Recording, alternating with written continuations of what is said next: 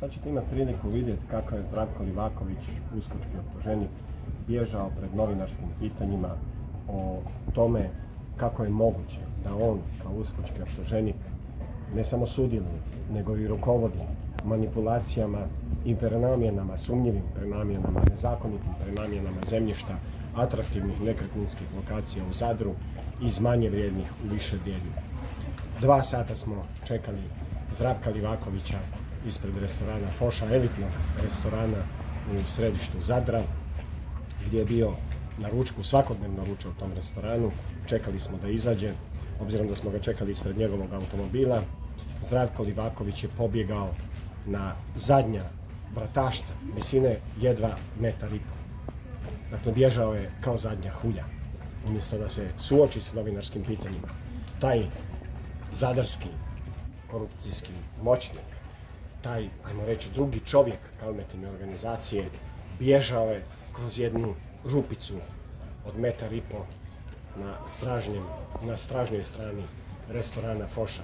Sat vremena je trajala njihova organizacija toga da ga izvuku, da ga drugo vozilo čeka, kako da nas izbjegnu, ali Livakoviću, uskočkom optuženiku koji u Zadru rukovodi građevinskim operacijama kalmetine mafije, uspjeli smo postaviti nezgodna pitanja.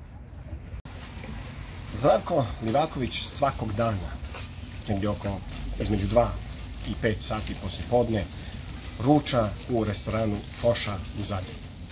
To je luksuzni restoran. Prije dva dana na ručak je potrošio skoro 600 eura. Vaših 600 eura.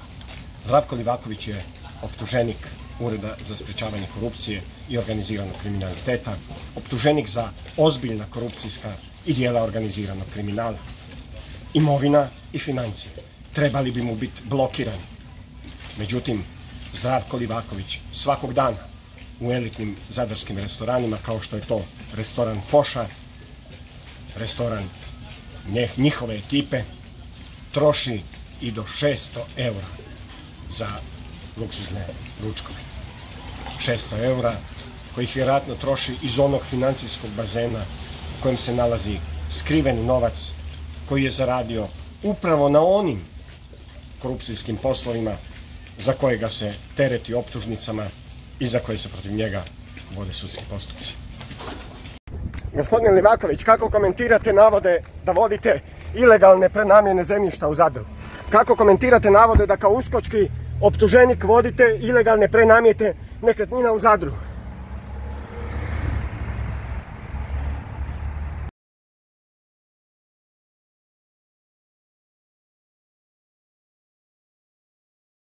Ovo vidite mjesto, lokaciju, zadnji ulaz u restoran Foša u Zadru, kroz koji je Zdravko Livaković bježao novinarskoj ekipi. Ostavio je svoj osobni automobil, dakle pobjegao je čak i od svog osobnog automobila, čekala ga je nekakva mračna ekipa tamo iza, vidite u samom prilogu. Dakle, odavde je Zdravko Livaković, e, praktički ko zadnja jedna e, mafiozna huljica, bježao od novinarske ekipe.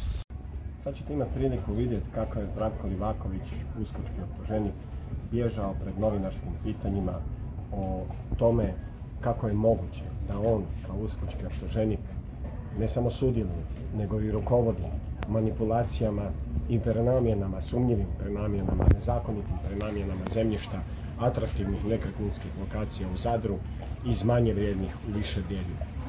Dva sata smo čekali Zdravka Livakovića ispred restorana Foša, elitnog restorana u središtu Zadra, gdje je bio na ručku, svakodnevno ručao u tom restoranu. Čekali smo da izađe, obzirom da smo ga čekali ispred njegovog automobila. Zdravko Livaković je pobjegao na zadnja vratašca, visine jedva metar i pol. Dakle, bježao je kao zadnja hulja, umjesto da se suoči s novinarskim pitanjima. Taj zadarski korupcijski moćnik, taj, ajmo reći, drugi čovjek kalmetine organizacije, bježao je kroz jednu rupicu od metar i pol na, stražnjem, na stražnjoj strani restorana Foša. Sat vremena je trajala njihova organizacija toga da ga izvuku, da ga drugo vozilo čeka, kako da nas izbjegnu, ali Livakoviću, uskočkom optuženiku koji u Zadru rukovodi građevinskim operacijama kalmetine mafije, uspjeli smo postaviti nezgodno pitanje.